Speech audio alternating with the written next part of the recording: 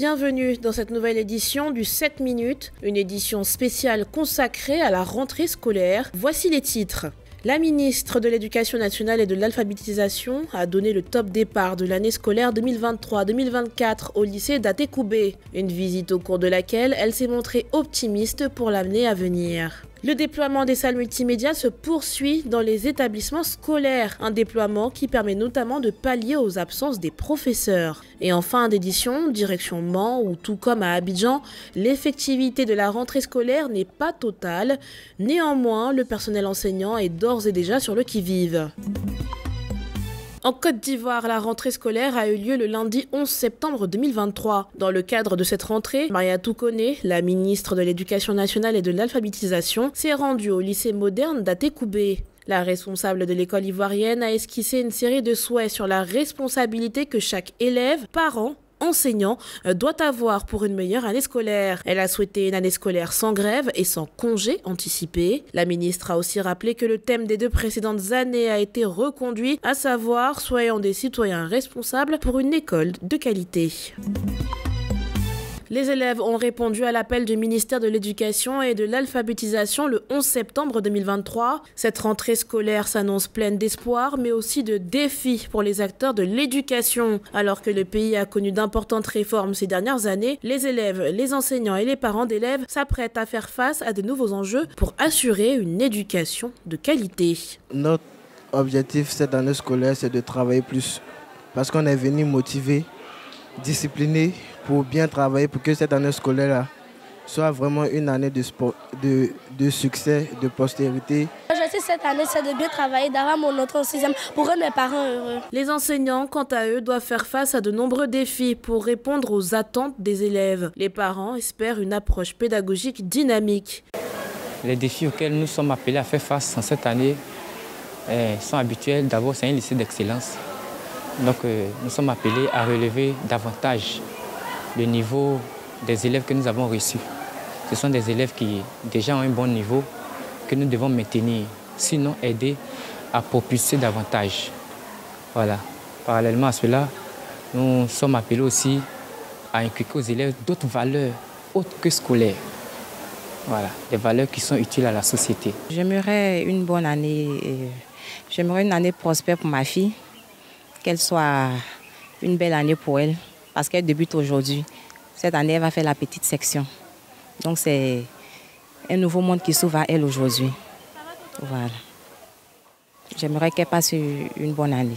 La rentrée 2023-2024 en Côte d'Ivoire a commencé avec un fort sentiment d'optimisme et d'anticipation chez les élèves, les parents et les enseignants. Ces différents acteurs ont exprimé leurs attentes en matière d'éducation de qualité, de meilleures infrastructures et de soutien pédagogique.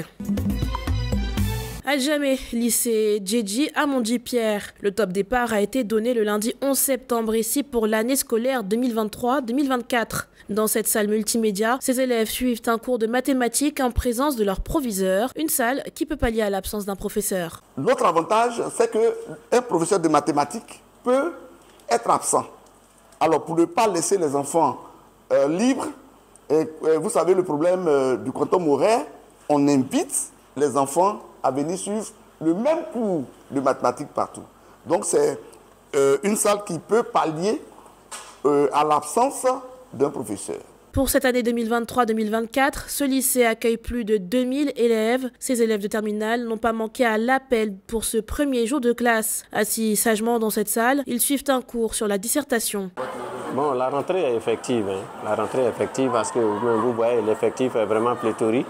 Nous, ne nous attendions pas à ça parce que c'est le premier jour des classes. Ce n'est pas facile pour certains parents qui n'ont surtout pas les moyens. On connaît un peu la situation économique de nos parents ici, en Afrique, ici. Aujourd'hui, on voit que c'est tout un contraire. C'est dit que la rentrée est effective. Euh, je me sens un peu gêné par rapport à la classe, quoi, parce que c'est une classe d'examen, donc je me sens un peu stressé. Ici, les élèves sont heureux de retrouver les salles de cours. Pour certains, c'est également l'occasion de retrouver leurs amis. Aujourd'hui, c'est la rentrée et je suis fier de venir voir ma classe et en même temps mes amis, en, sachant que cette année sera une année de succès, car je vais essayer de faire mieux que les années précédentes. Avoir le BPC avec mention plus orientation, c'est mon objectif. Rappelons que l'année académique prendra fin le 12 juillet 2024.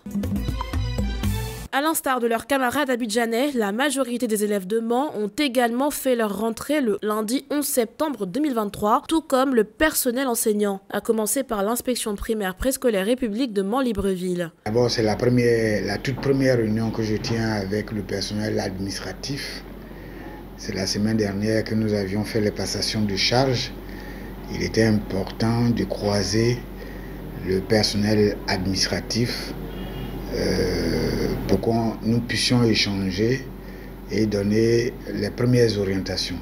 Au collège Jean de la Menet, tout un programme a été spécifiquement conçu pour accueillir les élèves. Au niveau de l'instruction, nous sommes débordés.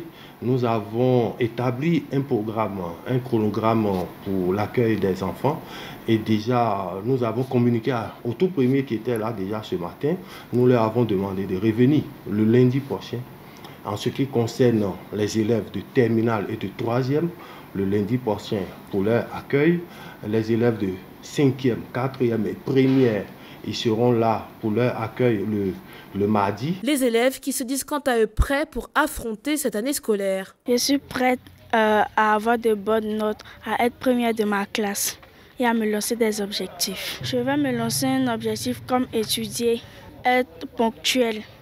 Au groupe scolaire Bépleu, même si les élèves sont absents, dans la cour de récréation, les enseignants sont déjà sur le qui-vive. Effectivement, c'est la reprise au niveau du primaire.